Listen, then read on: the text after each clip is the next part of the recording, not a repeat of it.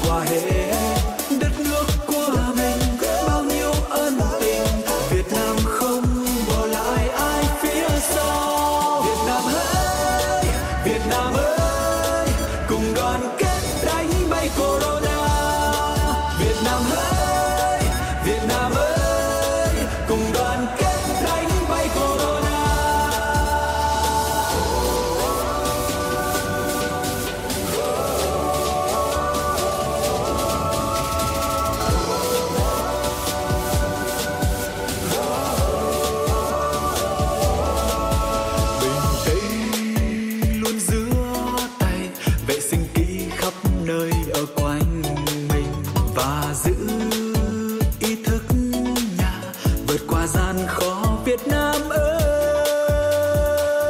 Đừng share chuyện sai trên Facebook, phải đeo khẩu trang cho đúng lúc. Đừng kỳ thị ai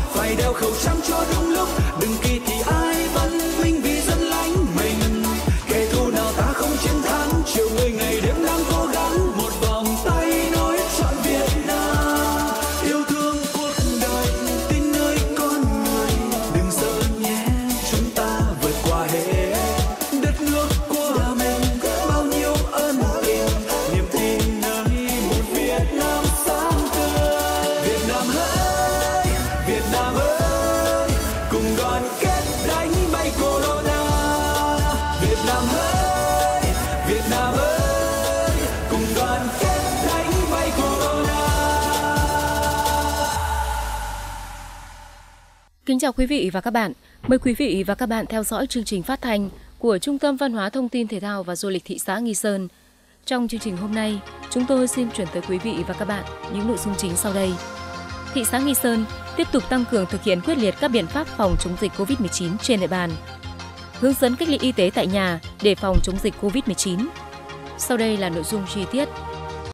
Công văn của Ủy ban Nhân dân thị xã Nghi Sơn về việc tiếp tục tăng cường thực hiện quyết liệt các biện pháp phòng chống dịch COVID-19 trên địa bàn thị xã Nghi Sơn. Hiện nay, tình hình dịch bệnh COVID-19 diễn biến rất phức tạp trên địa bàn thị xã. Từ ngày 8 tháng 7 năm 2021 đến ngày 6 tháng 8 năm 2021, trên địa bàn thị xã đã ghi nhận 12 ca dương tính với SARS-CoV-2. Trong đó, từ ngày 28 tháng 7 năm 2021 đến mùng 6 tháng 8 năm 2021, ghi nhận 7 ca dương tính với SARS-CoV-2 là công dân về từ thành phố Hồ Chí Minh và các tỉnh, thành phố đang thực hiện các biện pháp giãn cách xã hội theo chỉ thị số 16 của Thủ tướng Chính phủ. Đặc biệt, có 3 ca dương tính với SARS-CoV-2, bệnh nhân Bùi Quốc Khánh, bệnh nhân Bùi Thị Ngà, bệnh nhân Lê Đình Tới được phát hiện qua test nhanh COVID-19 tầm soát dịch tại chốt kiểm soát dịch của thị xã, có danh sách cụ thể 12 ca F0 kèm theo. Trước tình hình nguy cơ cao lây nhiễm dịch bệnh COVID-19 từ các cơ sở dịch vụ ăn uống trên địa bàn, đặc biệt là các cơ sở dịch vụ ăn uống trên tuyến quốc lộ 1A, các tuyến đường tỉnh lộ, thông qua các người dân về từ vùng có dịch, đi đến, về, đi qua thị xã, đã phát hiện một số trường hợp dương tính với SARS-CoV-2 trên địa bàn. Chủ tịch Ủy ban nhân dân thị xã Nghi Sơn, trưởng ban chỉ đạo phòng chống dịch COVID-19 thị xã yêu cầu ban chỉ đạo phòng chống dịch COVID-19 thị xã, thủ trưởng các cơ quan, ban ngành, đoàn thể thị xã, chủ tịch Ủy ban nhân dân các xã phường, các đơn vị, tổ chức và các doanh nghiệp, các cơ sở sản xuất kinh doanh trên địa bàn thực hiện quyết liệt, nghiêm ngặt các biện pháp phòng chống dịch COVID-19 như sau. 1. Tiếp tục quyết liệt, thực hiện nghiêm các nội dung chỉ đạo của công văn số 3113 UBNZIT ngày 4 tháng 8 năm 2021 của Chủ tịch Ủy ban nhân dân thị xã Nghi Sơn về việc tiếp tục thực hiện công điện số 23 CDUBNZ ngày 1 tháng 8 năm 2021 của Chủ tịch Ủy ban nhân dân tỉnh Thanh Hóa, công điện số 18 CDUBNZ ngày 1 tháng 8 năm 2021 của Chủ tịch Ủy ban nhân dân thị xã và các biện pháp phòng chống dịch COVID-19 có công văn số 3113 UBNZ-IT ngày 4 tháng 8 năm 2021 kèm theo. 2. Giao Công an thị xã phối hợp với Phòng Cảnh sát Giao thông Công an tỉnh, các ngành chức năng làm tốt công tác kiểm soát việc đậu đỗ các phương tiện vận tải, dừng đậu đỗ tại các cơ sở ăn uống dọc trên tuyến quốc lộ 1A, dọc các tuyến đường tỉnh lộ phải đảm bảo các điều kiện phòng chống dịch theo quy định của chính phủ, của tỉnh Thanh Hóa và của thị xã Nghi Sơn. 3. Các nội dung không đề cập tại công văn số 3113 ngày 4 tháng 8 năm 2021 của Chủ tịch Ủy ban Nhân dân thị xã tiếp tục thực hiện theo các văn bản chỉ đạo của Chính phủ, Thủ tướng Chính phủ, Ban chỉ đạo quốc gia phòng chống dịch COVID-19, Bộ Y tế, tỉnh ủy, Ủy ban nhân dân tỉnh, thị ủy, Ủy ban nhân dân thị xã và Chủ tịch Ủy ban nhân dân thị xã về phòng chống dịch COVID-19. Chủ tịch Ủy ban nhân dân thị xã, trưởng ban chỉ đạo phòng chống dịch COVID-19 thị xã yêu cầu các thành viên ban chỉ đạo phòng chống dịch COVID-19 thị xã, trưởng công an thị xã Nghi Sơn, chủ tịch Ủy ban nhân dân các xã phường, thủ trưởng các ngành cơ quan, đơn vị tổ chức và các doanh nghiệp, cơ sở sản xuất kinh doanh trên địa bàn nghiêm túc triển khai thực hiện. Chủ tịch đã ký Nguyễn Tiến Dũng.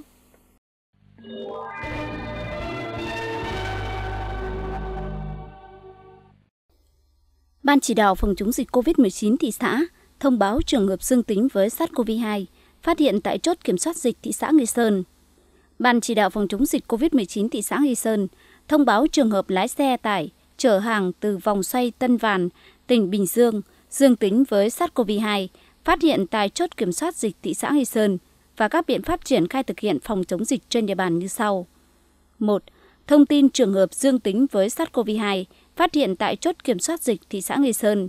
Họ và tên Nguyễn Văn Được, sinh ngày 1 tháng 11 năm 1986, quê quán Diễn Kiêm, Diễn Châu, Nghệ An, địa chỉ tạm trú An Lạc, quận Bình Chánh, thành phố Hồ Chí Minh, nghề nghiệp lái xe, xét nghiệm dương tính SARS-CoV-2 ngày 7 tháng 8 năm 2021 do Bệnh viện Đa khoa Quang Khởi, Nghệ An thực hiện. 2. Kết quả điều tra dịch tễ Ngày 4 tháng 8 năm 2021, bệnh nhân cùng phụ xe là Lê Kim Nguyên, lái xe tải biển kiểm soát 88H00403 di chuyển đến địa điểm bốc hàng ở vòng xoay Tân Vàn, tỉnh Bình Dương. Quá trình bốc hàng không tiếp xúc với ai. Từ ngày 4 tháng 8 đến ngày 6 tháng 8 năm 2021, bệnh nhân ăn nghỉ trên đường, không tiếp xúc với ai khác ngoài một người đi cùng xe. Qua các chốt kiểm dịch, giữ khoảng cách trên 2 mét, mua cơm, gọi người mang ra hạ cửa kính xe để lấy, không xuống xe. Tại các điểm đổ xăng, chỉ trả tiền qua cửa kính xe. Khoảng 19 giờ 07 phút ngày 6 tháng 8 năm 2021, về đến điểm dừng chân Diễn Quỳnh thuộc địa bàn xã Trường Lâm, thị xã Nghi Sơn, làm test nhanh kết quả dương tính, sau đó được chuyển mẫu đến Bệnh viện Quang Khởi làm xét nghiệm PCR cho kết quả dương tính với SARS-CoV-2. 3. Các biện pháp đã triển khai.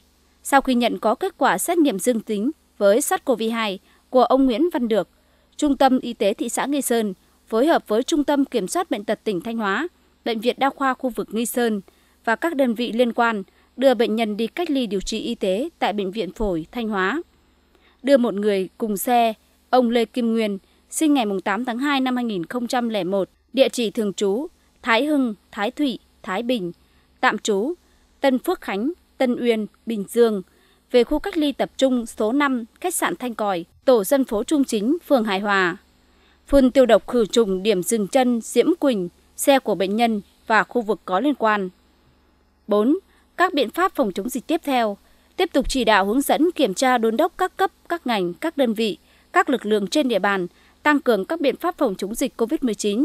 Trọng tâm là thực hiện thông điệp 5K, khẩu trang, khử khuẩn, khoảng cách, không tụ tập, khai báo y tế của Bộ Y tế, thực hiện nghiêm ngặt các quy định về cách ly tại nhà, nơi lưu trú, trong các khu cách ly tập trung và cách ly điều trị y tế, tránh lây nhiễm dịch bệnh trong các cơ sở y tế, các khu cách ly phòng chống dịch trên địa bàn.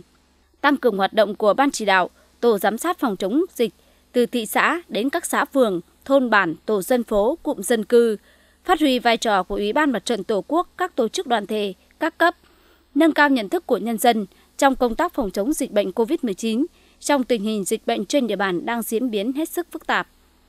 Tiếp tục thực hiện nghiêm các biện pháp phòng chống dịch theo chỉ đạo của Chính phủ, Thủ tướng Chính phủ, Ban chỉ đạo quốc gia phòng chống dịch COVID-19, Bộ Y tế, tỉnh ủy, Ủy ban nhân dân tỉnh, thị ủy và Ủy ban nhân dân thị xã. Trọng tâm là công điện số 18 ngày 2 tháng 7 năm 2021, công điện số 22 ngày 20 tháng 7 năm 2021, công điện số 23 ngày 1 tháng 8 năm 2021, kế hoạch số 177 ngày 21 tháng 7 năm 2021, công văn số 10965 ngày 26 tháng 7 năm 2021 của Ủy ban Nhân dân tỉnh, công điện số 10 ngày 4 tháng 7 năm 2021, công điện số 15 ngày 21 tháng 7 năm 2021, công điện số 18 ngày 1 tháng 8 năm 2021, công văn số 2660 ngày 6 tháng 7 năm 2021, công văn số 2723 ngày 11 tháng 7 năm 2021, công văn số 2880 ngày 20 tháng 7 năm 2021, phương án số 191 ngày 26 tháng 7 năm 2021, công văn số 2995 ngày 28 tháng 7 năm 2021, công văn số 3113 ngày 4 tháng 8 năm 2021, công văn số 3159 ngày 7 tháng 8 năm 2021 của Chủ tịch Ủy ban Nhân dân thị xã Nghi Sơn. Ký thay trưởng ban, Phó trưởng ban đã ký Mai Sĩ Lân.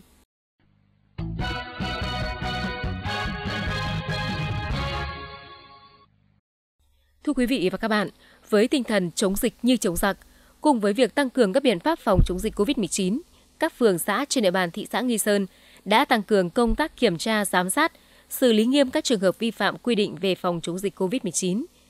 Chỉ tính từ ngày 9 tháng 7 đến ngày 3 tháng 8, các phường xã trên địa bàn thị xã Nghi Sơn đã ra quyết định xử phạt hành chính 119 trường hợp vi phạm các quy định phòng chống dịch, phạt tiền hơn 312 triệu đồng nộp ngân sách nhà nước. Trong đó các hành vi vi phạm chủ yếu là không đeo khẩu trang nơi công cộng, từ chối hoặc trốn trách việc áp dụng biện pháp cách ly y tế, cưỡng chế cách ly y tế của cơ quan nhà nước, không chấp hành các biện pháp phòng chống dịch, bệnh truyền nhiễm, không thực hiện quyết định áp dụng biện pháp tạm dừng hoạt động kinh doanh để phòng chống dịch, không khai báo y tế kịp thời.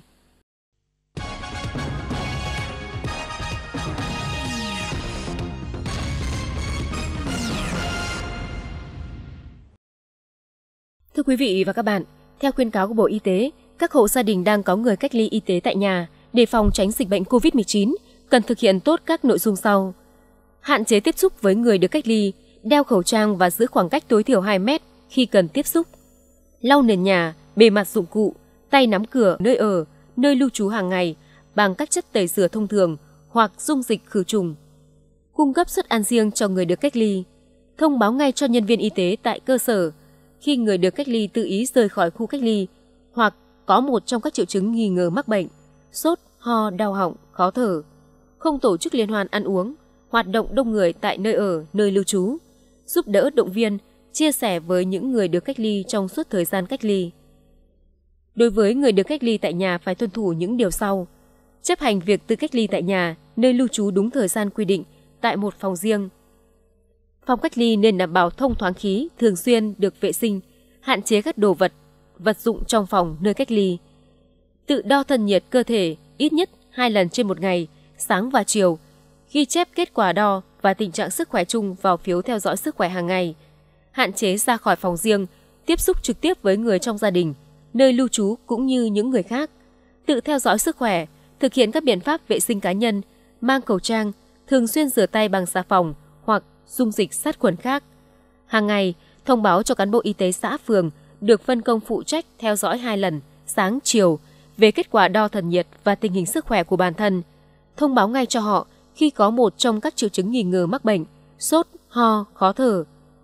Không được tự động ra khỏi nhà nơi lưu trú, không ăn chung cùng với những người khác trong gia đình nơi lưu trú.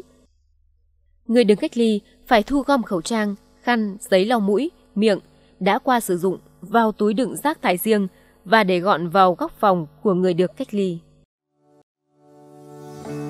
Để chủ động phòng chống dịch COVID-19 trong trạng thái bình thường mới, Bộ Y tế gửi đến người dân thông điệp 5K với các nội dung chính sau đây. Khẩu trang, đeo khẩu trang vải thường xuyên tại nơi công cộng, nơi tập trung đông người. Đeo khẩu trang y tế tại các cơ sở y tế, khu cách ly. Khử khuẩn, rửa tay thường xuyên bằng xà phòng hoặc dung dịch sát khuẩn tay, vệ sinh các bề mặt, vật dụng thường xuyên tiếp xúc, giữ vệ sinh, lau rửa và để nhà cửa thông thoáng. Khoảng cách Giữ khoảng cách khi tiếp xúc với người khác. Không tụ tập Không tụ tập đông người.